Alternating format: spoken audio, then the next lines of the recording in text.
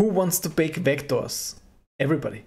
Everybody wants to bake vectors, including me. So, can we bake vectors from Grasshopper to Rhino? No and yes. So, we cannot bake vectors directly because there are no vectors in in Rhino. I mean, there's no um, a visual representation of vectors in Rhino. Having said that, we can create a representation of the vectors within Grasshopper and then bake that. As you can remember from the last video, we did this the outdoor comfort study together with the wind study.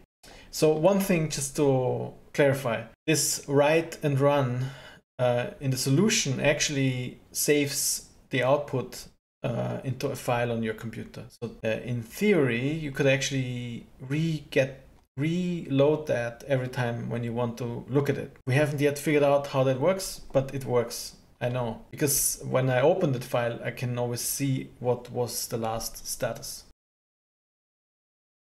In any case, still the idea to to to uh, bake these vectors into Rhino is very intriguing because I mean maybe there are other things you want to do with it or just want to store it in your you want to you know try different things render it or something like that. So i show you one solution and for sure there are many more but it this is a very small and, and quick quick and dirty solution. So we have as you remember we have the vector we have our vectors and we have the start point of the vector. So this the start point gives us the the base of the vector and then the vector gives us the length and direction First, what we need to do, we need to translate that into curves, into into into a curve or in a, into a line. So every vector need to be a line first. So let's uh, you can do this with this one. The SDL create a line segment defined by start point, tangent, and length. That's what we need. We just input here the start point. This is S start point our point here. And then the vector is the, the direction. And then you can already see we have this short line. Let's let's turn this off here. You'll see that. We have the, the short line depending on the length of the vector. Oh no, sorry. The length uh, also it's comes also from here. So the, because that has the that is only the direction and this is the length. It basically has both informations here. So you can see that they are different sizes. If you don't want that, so then you just use our uh, multiplier. So you can remember what we did. We we um, how was that? We unitized it. So then every vector becomes one, and then we we cranked it up as much we wanted it the length. So we can do the same here, and we just actually need to just input this here. Then they are all the same length. You don't have to do that. You can. It's perfectly fine if you do this. That's that's completely valid. Um, and in some cases, it might be even, even nicer. So what you know from the outdoor comfort mesh, that you can actually bake without problem. So if I would like to bake this, I can just click here and bake. It doesn't then, you need to be careful then in what, what you want to, in which um, display mode you're gonna look at. Or of course you can tweak any display mode as you know from a video about display modes. So this is the baked version of the, the heat map. And that works because it's a mesh. Um, that doesn't work with lines. You can't really, uh, so if I have this line here, I can't give it a color and export. It doesn't work for some reason. But in any case, we want to make it anyway different. So I want to turn this line into a mesh and I want to add an arrowhead to it. So what could we do now? let's turn this off here. So we have this. Um, I will make them all the same length. Okay. And we can test both um, because now we can just export what we want. And then um, and then you can still play with your length, of course. It's, that's possible. And now we want to create a pipe. Later we want to create a mesh out of it. So let's let's do this and we can add a slider here. Gonna create a very thin pipe. And close it if you want. If you want, you can actually close the end. You can cap it. Zero is none, one is flat, and two is round. I just keep it open. And then the other thing is we want to have a a cone or as an arrowhead. Let's create a cone.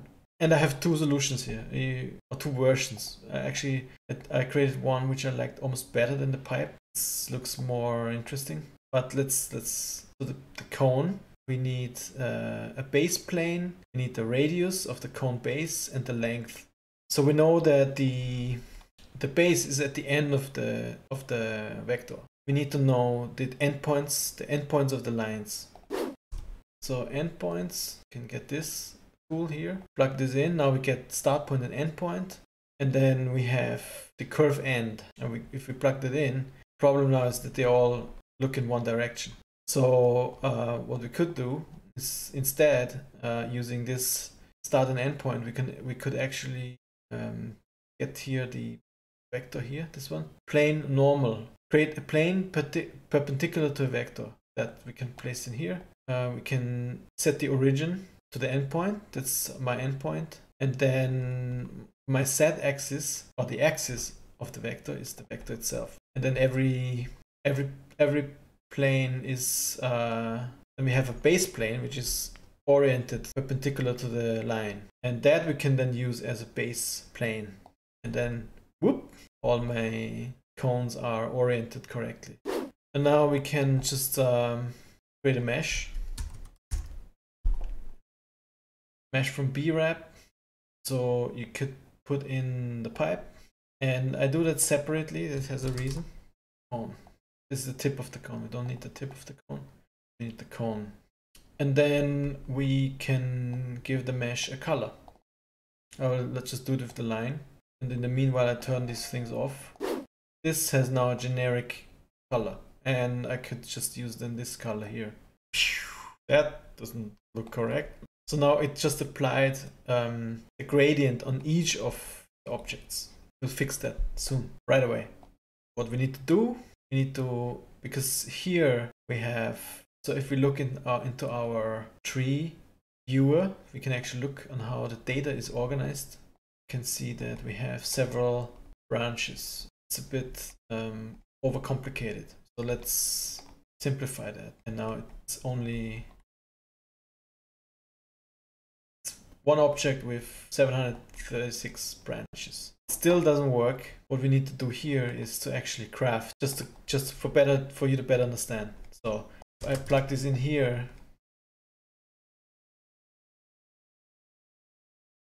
I only have one branch with a list of 736 entries. So, but what, what I want is I want to have, so we simplify this to one to to 736 branches. And here we have only one branch with 736 list entries. So that's why we need to craft that. So now we have you can see now here they're all it's all working now. And we can um, play with the cone in a way that it keeps the same ratio size size wise is same um, proportions to the length of the to the length and the width of the line. So we can uh, just add a multiplier to these. So if I want to change take we, I could use the same radius as this. Now now the tips wait let, let's fix the tips first. Tips we also want to have color. We can just place it in here with shift with shift you can add things. And now this didn't work. And the reason is again this is the problem with on how the data is organized. Look at this. Again we have only one branch. We need to craft that as well. And then should work now.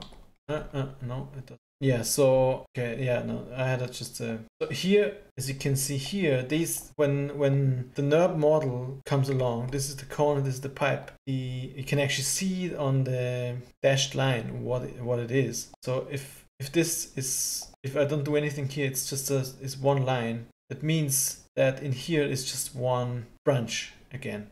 So and here is here's actually um here are many branches. So what we need to do here is to actually um, craft. Craft it so it becomes similar to this. And actually we don't need this one. Oh, we need, we need, oh, sorry, simplify. So this data set need to look the same as this one. Then it works. And I think you, I think you could also join the meshes before if you want.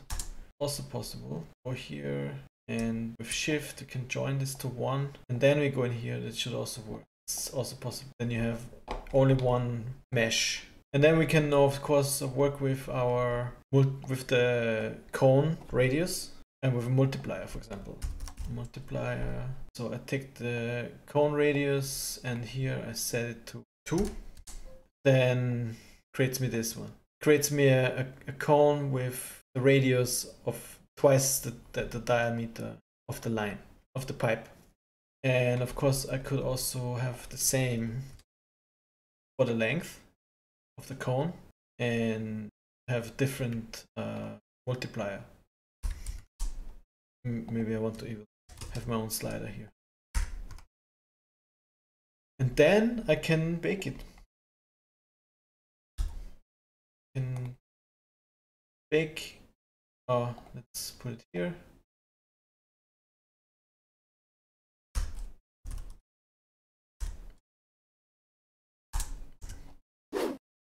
Of course, whenever you then show it, it never works. Actually, it worked.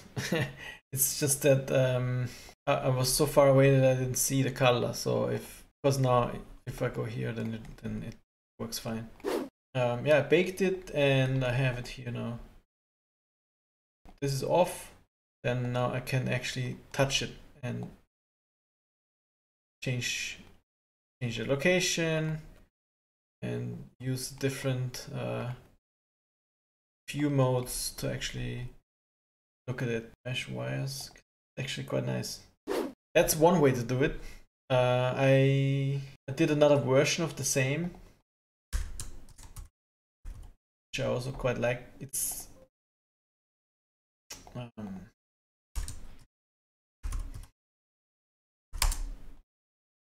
which is a bit of a different.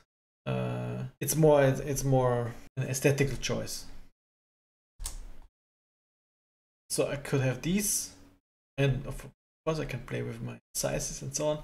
But what I also liked is to have actually two cones. Yeah, let's. I'm gonna just show you what I mean. Uh, instead of instead of doing this with the pipe, pipe I don't like the pipe that much. I can just take that away. So I have a, a cone in one direction, and I can have I could have a, a cone in the other direction. Then a multiplier that could also look quite nice actually. So for example, I have now a second cone here and instead of showing it in at the same oops I want instead of using the same uh, multiplier I can use a different multiplier for the length I, can, I, I could actually just just show you this very quickly so I just create a number with a with a minus value value so I can actually do this. Not what I wanted. That's what we had. Yeah, I'm gonna copy this and plug this in here and this uh no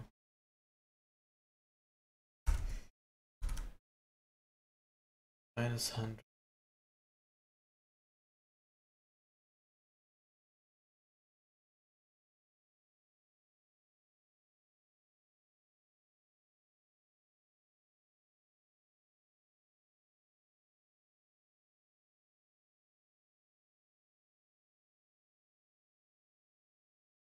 yeah it could be a different different type. And of course I could have I could maybe use the length from here. Let's see what that does. Now I just saw something. If you if you want to um, just bake the lines with an arrowhead that's also possible.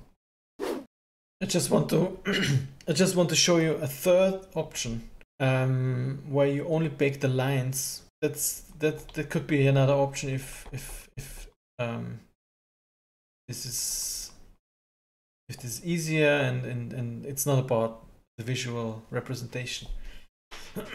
But you could uh, only store the lines the length and then based on the length so you don't have the color information but you have the length of the lines. So we we actually just use the length of the lines as we did before. And if i show that it like this so for shortest uh, for velocities, smaller velocities, the, the, the, the lower the velocity, the small, the shorter the curve or the line.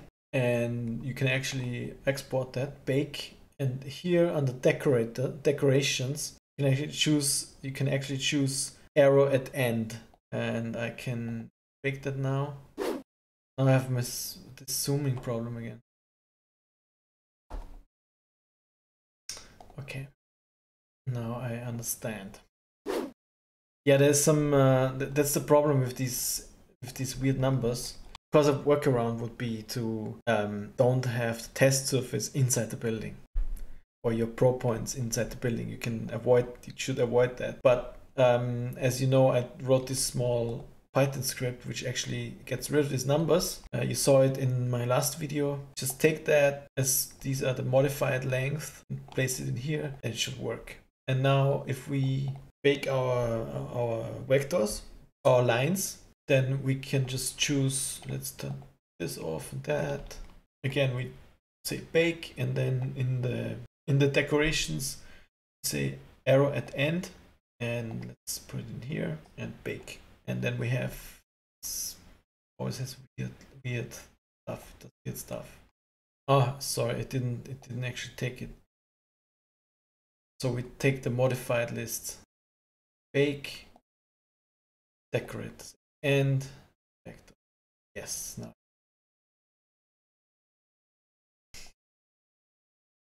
And now we have our vectors here.